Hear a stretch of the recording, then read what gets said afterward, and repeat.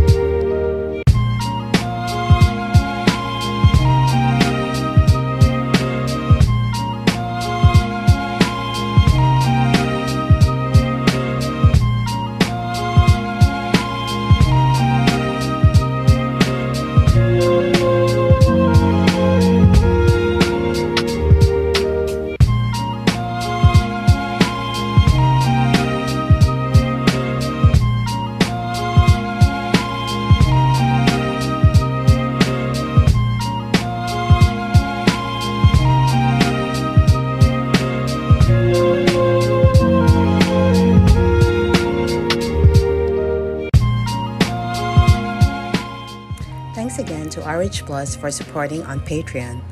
If you can't get enough of Reverse Harem, head over to Patreon or visit the blog.